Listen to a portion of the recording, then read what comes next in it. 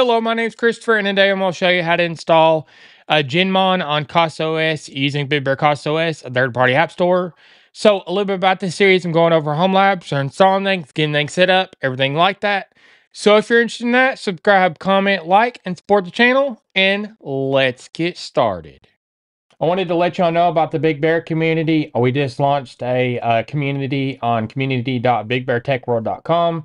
It's based on discourse, so go on there, join it, and uh, say hi.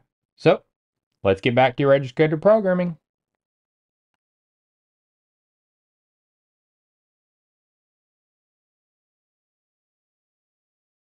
So this is what I'll be installing today. Genmon, Generac, and other models, a generator monitoring using Raspberry Pi and Wi-Fi. Uh, you can also use uh, the Open Genset, and that means that it's bridging and it's not storing all the data directly on the side of your generator with Raspberry Pi. You can actually uh, send all the data to a virtual machine. Um, today we'll, we'll, be installing it on Portainer, so you can send the da data through there um, to the Docker. Um, so now this is what the functionality is. So monitoring a generator, a displaying serial numbers. There's all kinds of functionality in this. Um, so you can get SMS notifications and notifications on email, and you can also use Call Me Bot, uh, the command line application, all functionality of email, ability to uh, to set exercise time and generator time, ability to start, stop, exercise, and start an active transfer switch. Um, so now you can see the UI right here. So this is what the UI looks like, and also status, maintenance, outage, logs, monitor, not notifications, and settings. So that's what we'll be installing today. So I was fixing to create my own Docker file. Um, so, uh, but I also found that Skipfire um, from pintsize.me already had a Genmon add-on uh, set for it, so he's already got the Docker file set up and the Docker Compose and the the README here. So, um, but I wanted to improve this, so I built a new Docker uh, file, file off of this one. Um, so still credits to uh, Skipfire for creating the initial one. So I'm to go over to my Big Bear Genmon and um, to, to, my uh, Big Bear Docker images uh, repo and show you what I built. So now I'm going to start on Big Bear Docker images and I'm going to go in the Genmon and then uh, I'm going to go in the Docker file. So I'm going to use the slim uh, image of Python and then uh, I'm going to set the uh, the environment variables for Debian front end and then the time zone. And then I'm going to uh, install the essential packages like Git, sudo, cron, and NetTools. And then I'm going to clean up. I'm going to expose the ports of 443 and 8000. Uh, so that's going to be exposed on the container. And then the work directory, I'm going to set to Git. And then I'm going to configure the use serial TCP to true on the environment variable. And then I'm going to clone the repository and I'm going to go a depth of one. It's a shallow clone. And then I'm going to remove the get genmon.get so it cleans up the image and it shrinks it a little bit. Uh, so I'm going to initialize the application. So this is initialized at the genmon. And then I'm going to clean up the app to ca caches again. Um, so I'm going to copy the entry point uh, script to the container, and that's located over here. And then I'm going to make it executable, and then I'm going to set the entry point. So now um, th there's a README version, and then a Docker Compose, and then a entry point. So bin bash, I'm going to touch the var log startup.log and make sure it's there. And then I'm going to change uh, the environment variable. So I'm going to ch change etc genmon genmon.config. Um, so uh, the use serial TCP, and then I'm going to put the environment variable in there. So now I'm going to start the application. So it starts it, and uh, this does need root to start. So that's why I didn't change this to another user.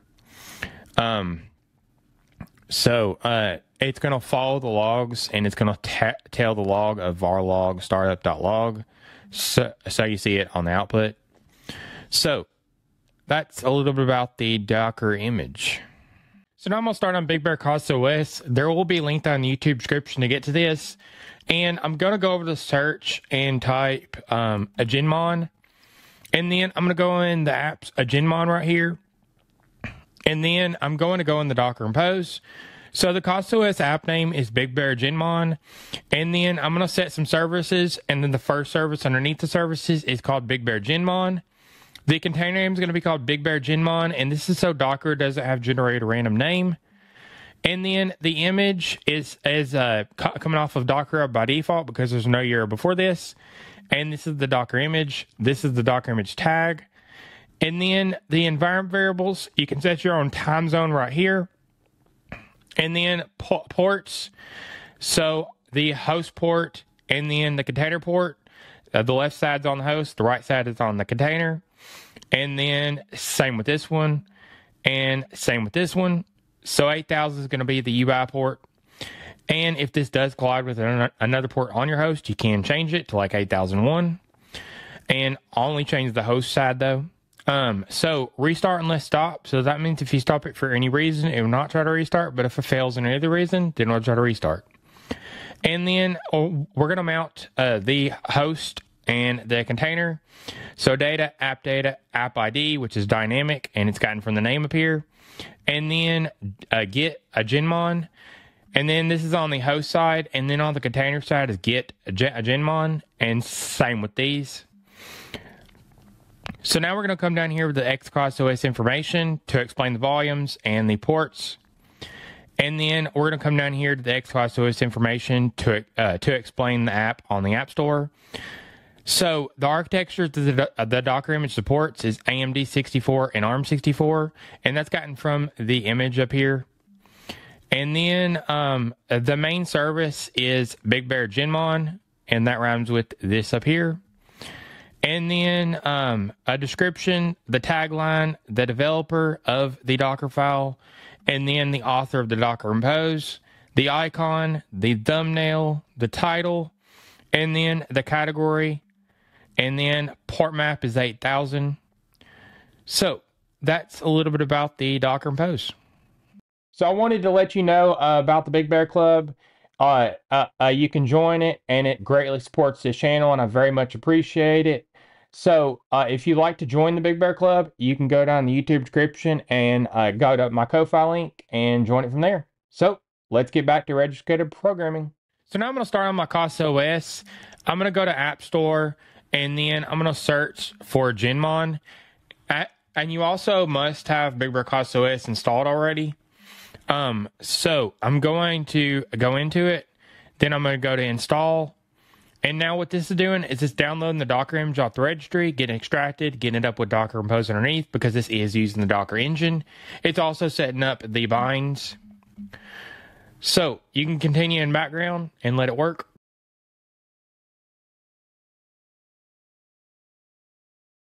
So now we can see that the uh, Genmon is up and running. So now I'm going to go over the container settings in CasaOS.